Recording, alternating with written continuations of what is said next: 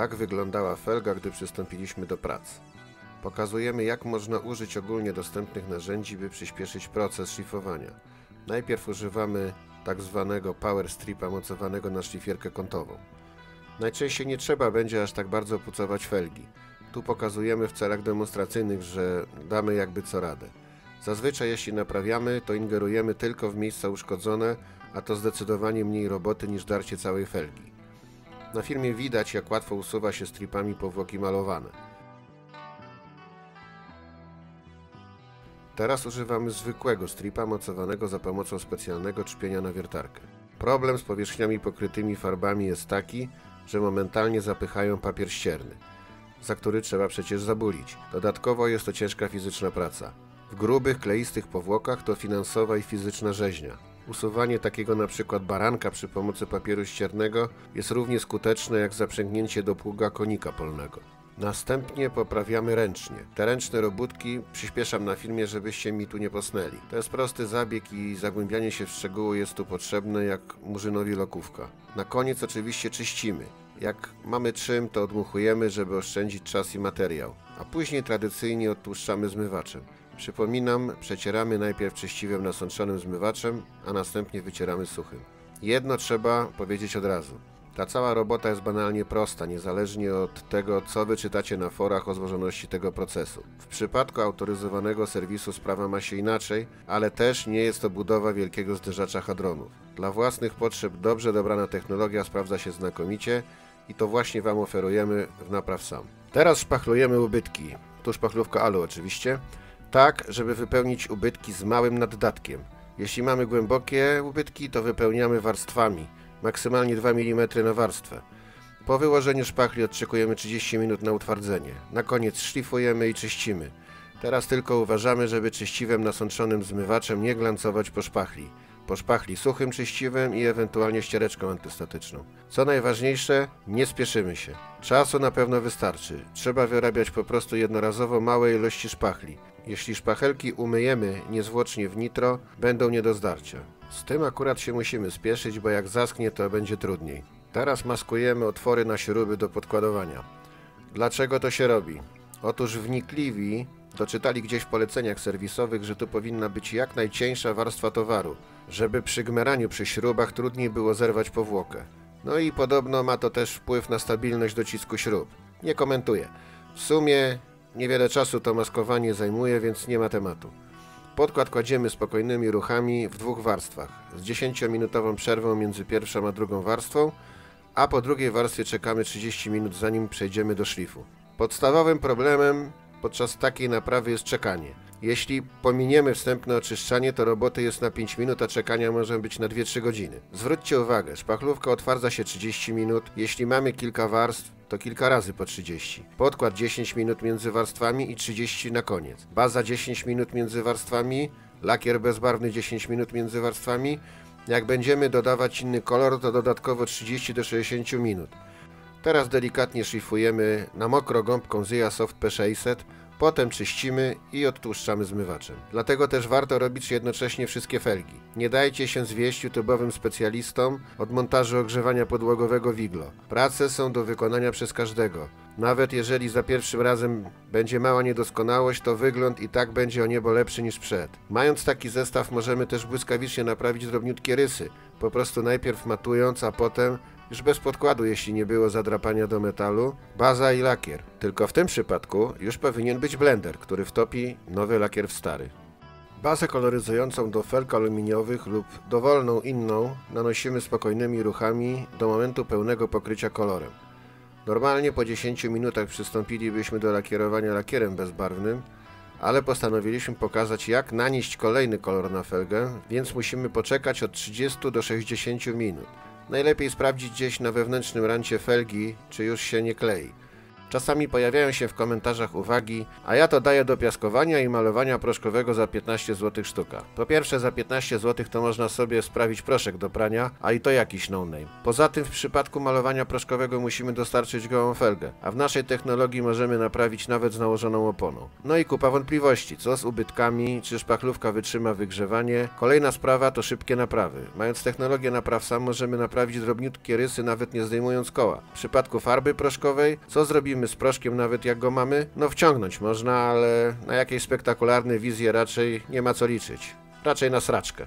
Nie naciągamy taśmy. Blisko rantów dociskamy taśmę szpachelką, żeby dokładniej przylegała. Wykonujemy oczywiście maskowanie tych części felgi, które mają pozostać w naszym przypadku w srebrnym kolorze. Może zrodzić się pytanie, czy to wszystko ma sens, przecież to felga i tak zaraz gdzieś draśniemy na krawężniku, albo gdzieś na kamieniach się obije. No cóż, jeśli masz alusy, to powinny porządnie wyglądać. To tak jakby kupić nowe czadowe glany, wdepnąć w krowie gówno i chodzić tak podzielni zadając szyku.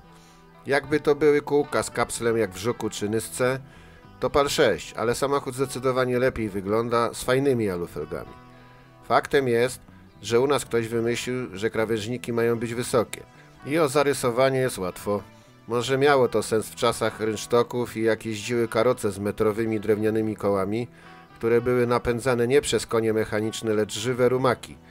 A te waliły klocki tam, gdzie stały, więc żeby podczas deszczu koński baton nie tańczył na chodniku, krawężnik musiał być wysoki. Ale teraz po co? No ale jest jak jest. Właśnie dlatego warto mieć taki zestaw, żeby od razu reagować. Niekiedy nie trzeba nawet koła zdejmować, żeby zamaskować rysy. Jest kolor w sprayu i sprawa jest do załatwienia błyskawicznie. Tu zastosowaliśmy trik polegający na podmianie dyszy z podkładu, żeby uzyskać precyzyjniejsze dozowanie towaru. Pokazujemy, że można tak zrobić. Tutaj uwaga. Nie podejmuję dyskusji, czy to ładnie będzie wyglądać, czy nie. Pokazujemy po prostu, że można i jeśli ktoś chce sobie zafundować taki motyw, to będzie wiedział jak to zrobić. Felga może być jak widać dość wdzięcznym tematem do przeróżnych ćwiczeń z kolorami. To już każdy decyduje sam. Można tworzyć wiele ciekawych motywów kolorystycznych, czy nawet malować wymyślne wzory. Czy to jest tak zwany agrotuning?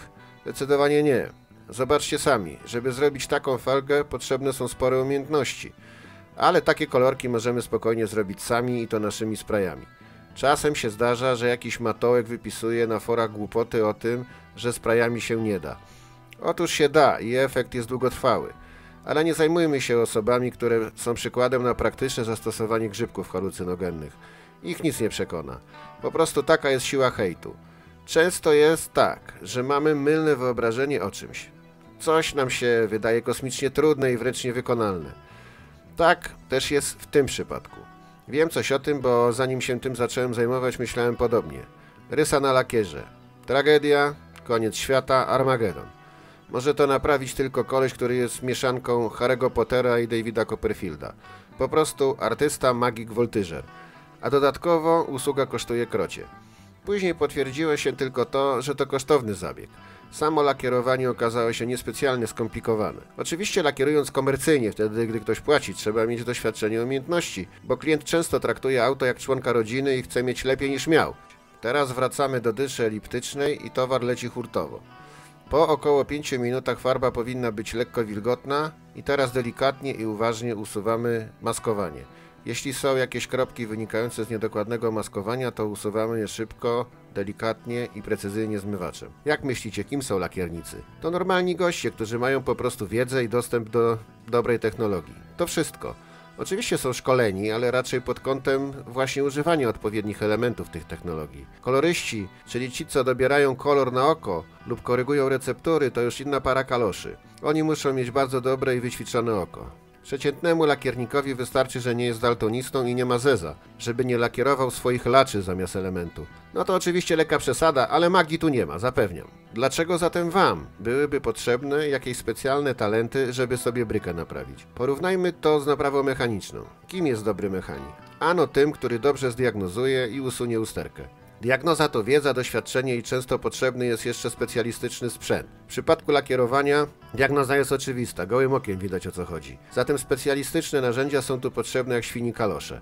Usunięcie usterki w naszej technologii też nie wymaga niczego więcej niż tego, co kupicie w naszym sklepie.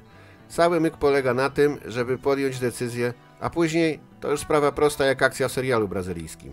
Jeśli nie macie delirki po wczorajszej imprezie, to zawsze będzie wyglądało lepiej niż przed naprawą, a w razie kolejnych zadrapań jest materiał, by szybko zareagować. No i na koniec lakierowanie lakierem bezbarwnym.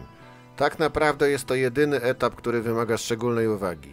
Trudność polega na tym, że lakier bezbarwny, żeby miał ładny połysk i cieszył oko, powinien być natryśnięty w dwóch, a maksymalnie trzech warstwach. Zatem trzeba wyłożyć grube te warstwy. Jeśli jednak grube, to istnieje ryzyko powstania zacieku i w tym cała sztuka. Trzeba złapać odpowiedni balans. Oczywiście po każdej warstwie przerwa 10 minut. Najlepiej jest potrenować sobie z boku na jakimś niepotrzebnym elemencie. Położenie lakieru bezbarwnego to jest właściwie jedyna trudność w całej naprawie. Jeśli robimy całą felgę, to niepotrzebny jest blender do wtopienia nowego lakieru w stary, i na tym kończymy. Felgi zostawić na jeden dzień w spokoju i potem można zakładać. Jeśli chcielibyście polerować, to poczekajcie z tym tydzień i delikatnie. I tak dobrnęliśmy do końca naprawy. Często pytacie, co to za materiały i dlaczego ciągle podkreślam, jak ważna jest technologia. Materiały w tej technologii to profesjonalne produkty, dobrane i przetestowane w wielu naprawach, dlatego nic tu nie zmieniajcie. Użyjcie czegoś innego, może zepsuć całą pracę. Niektóre komponenty się zmieniają, bo świat lakierniczych sprayów idzie do przodu, jak i reszta branży, ale każda nowość jest sprawdzana pod kątem spójności technologii. Spreje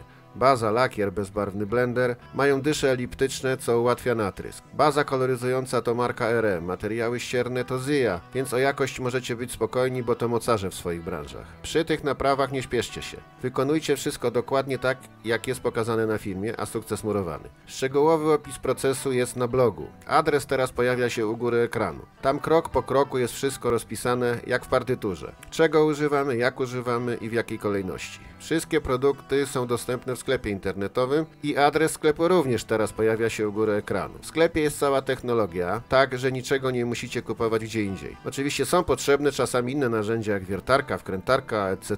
lub inne preparaty jak na przykład nitro, ale właśnie nitro tylko i wyłącznie do mycia narzędzi. Nie stosujcie tego w naprawie. Swoje uwagi i uwagi innych użytkowników można śledzić i zamieszczać na naszym forum, którego adres pojawia się teraz, zgadnijcie gdzie. Wymagana jest rejestracja na forum, ale tylko ze względu na konieczność zachowania przejrzystości. Za dużo jest cymbałów, którzy nie mają nic konstruktywnego do powiedzenia, a koniecznie chcą oznajmić światu, że mają problemy psychiczne. Niech się chwalą gdzie indziej. Zachęcamy do polubienia naszej strony na Facebooku. Wystarczy wpisać napraw sam Facebookową wyszukiwarkę i kliknąć facecika ze sprayem w ręku. Lakierując dla siebie nie wymagamy cudu, a wtedy okazuje się, że to wcale nie jest takie trudne. A mając do dyspozycji technologię napraw sam po prostu łatwe.